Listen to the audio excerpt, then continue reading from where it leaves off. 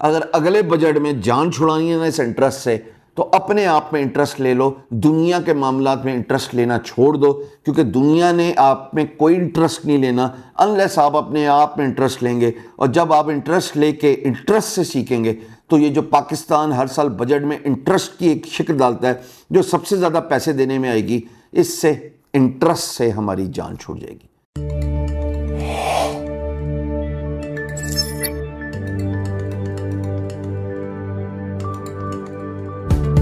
जी, अस्सलाम वालेकुम। बजट आ गया। ईद आने वाली है, हज होने वाला है। मैं पिछले साल हज करके आया था और यही दिन थे। अल्लाह रब्बुल इज़्ज़त से दुआ की थी कि पाकिस्तान के हालात बेहतर हो जाएँ और बेहतरी की तरफ़ जाएँगे, लेकिन कुछ प्रॉस्पेरिटी डिपेंडेंट होती है सैनिटी के साथ।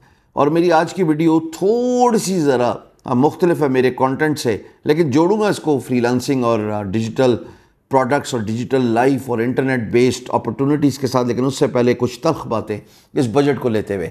मुझे जो समझ लगी है इस बजट को देख के कि आसान अल्फाज में ये बताया जा रहा है कि अगर आप हायर सैलरीड पर्सन हैं विच मीनस कि ज़्यादा पढ़े लिखे हो गए तो थोड़ा ज़्यादा तजर्बा होगा तो थोड़ा टैक्स लगेगा।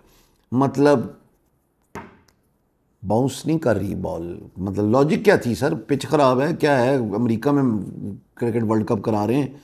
या आपका जो ओपोनेंट है, वो आपसे ज़्यादा होशियार है या वो सारी की सारी जो एक किताबचा बजट की सूरत में इस्लामिक रिपब्लिक ऑफ़ पाकिस्तान में अवामनास को पेश किया गया है, क्या वो एक लीड क्लास के लिए था? क्या वो उन लोगों के लिए है जो बहुत बड़े कारोबारी हैं रियल इस्टेट जिनका बहुत बड़ा वसी यू नो कारोबार फैला हुआ है? मुझे आज तक एक बात समझ नहीं लगी दोस्तों, और मैं चाहता हूँ कमेंट में मुझे बताएँ, ये बजट लाइफस्टाइल पे क्यों नहीं लग सकता? यानी आपने टैक्स लगाना है ना तो लाइफस्टाइल पे क्यों नहीं लगा सकते? ये जो प्राडो वाले फिर रहे हैं, ये जो मर्सडीज़ों वाले फिर रहे हैं, ये जो जहाज़ उड़ा रहे हैं, या ये हैवी बाइक चला रहे हैं, जो दस दस करोड़ के घरों में रह रहे हैं, आप इनके लाइफस्टाइल पे टैक्स लगाना शुरू कर दें। ऑटोमेटिकली ये फाइलर फूलर हो जाएँगे। सियासतदानों के जब आप and I am talking about this for the very first time in my videos आप जब इनके टैक्स रिटर्न देखते हैं, जो कि इंटरनेट पर ज़ाहिर है कोई मुश्किल का, ये वाई दिस कोलावरी दी मतलब आखिर में यही समझ लगती है ना कि मुझे जो चीज़ as a citizen of Pakistan वो समझ नहीं आ रही मुझे।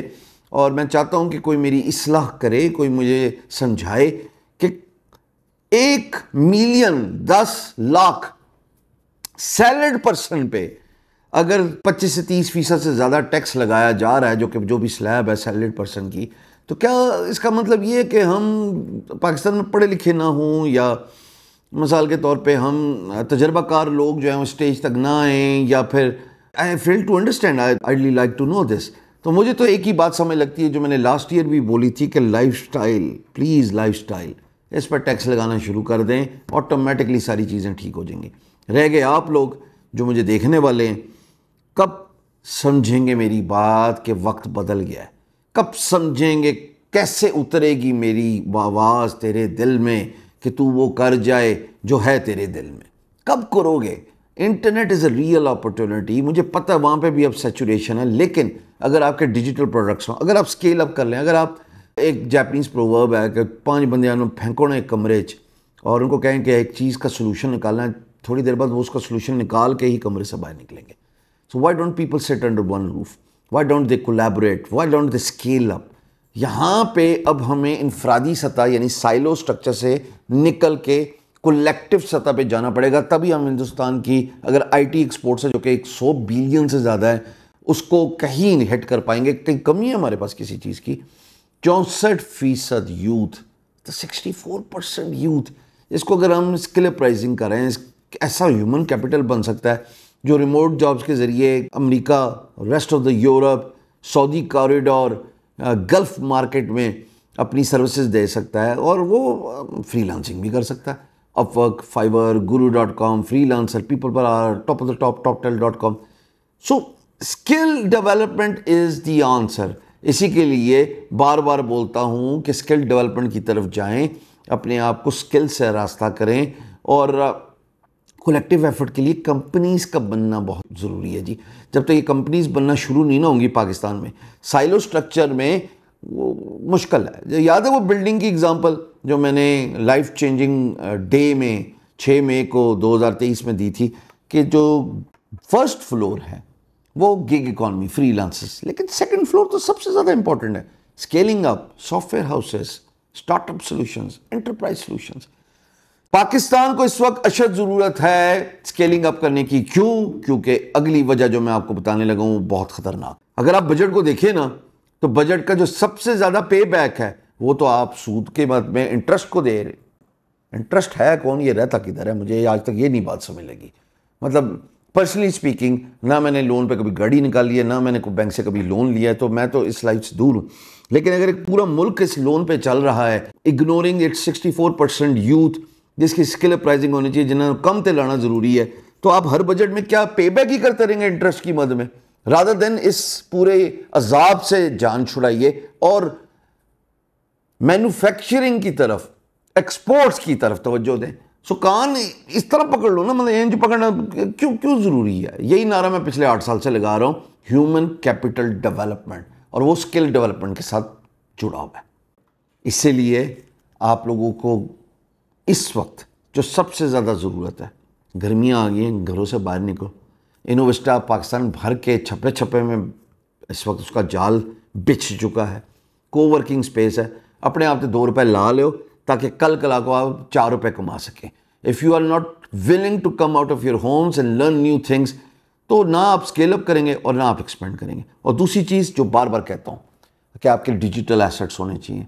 और डिजिटल एसेट्स की बुनियाद आपकी वेबसाइट है। होस्टिंगर की हर दफ़ा वीडियो में जो मैं वो एफिलिएट काविश आपके सामने लेके आता हूँ वो इसलिए लेके आता हूँ कि अच्छा एक थोड़ा सा मैं क्लैरिफाई कर दूँ एक पिछले कमेंट में बात हुई।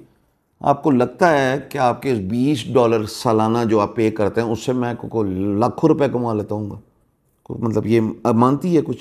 नहीं ना मानती। आपका फ़ायदा क्या हो जाएगा? आपका फ़ायदा तो जो होगा होगा, मैं अपना फ़ायदा बताता हूँ। मैं पिछले एक, दो साल से 2022 से, तेईस में तो मैंने ऑन रिकॉर्ड बोला है, मैं एक ही कोशिश में हूँ कि ये कंपनी पाकिस्तान आ जाए। इस काविश का पहला नतीजा ये हुआ कि उन्होंने लोकल पेमेंट्स होस्टिंगर ने लेना शुरू कर दी। इन एक वक्त आएगा, ये पाकिस्तान में आएगी ना तो एक कंपनी आई तो सैकड़ों और बाहर वाली आएँगी।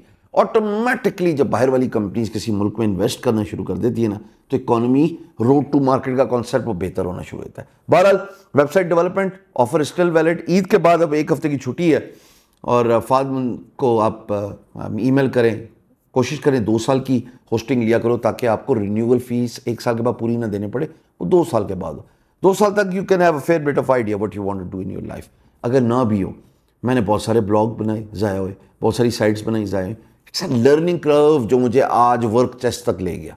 इट्स अ लर्निंग कर्व जो मुझे आज बींग गुरु तक ले गया। कि जहाँ पे स्पॉन्सर ब्लॉग पोस्ट मिल रही हैं, या यू नो एडसेंस से हम पैसा कमा रहे हैं, या लेट से नेविगेट करते करते मैं कंटेंट क्रिएशन तक पहुँच गया। Please life is organic it is not linear इरतका का अमल ऑर्गेनिक लाइफ सो खुदारा, पाकिस्तान, अगर अगले बजट में जान छुड़ानी है ना इस इंटरेस्ट से तो अपने आप में इंटरेस्ट ले लो, दुनिया के मामला में इंटरेस्ट लेना छोड़ दो, क्योंकि दुनिया ने आप में कोई इंटरेस्ट नहीं लेना अनलेस आप अपने आप में इंटरेस्ट लेंगे। और जब आप इंटरेस्ट लेके इंटरेस्ट से सीखेंगे तो ये जो पाकिस्तान हर साल बजट में इंटरेस्ट की एक शिक्ल डालता है, जो सबसे ज़्यादा पैसे देने में आएगी, इससे इंटरेस्ट से हमारी जान छूट जाएगी। अपने आप से इंटरेस्ट लो। बहुत शुक्रिया।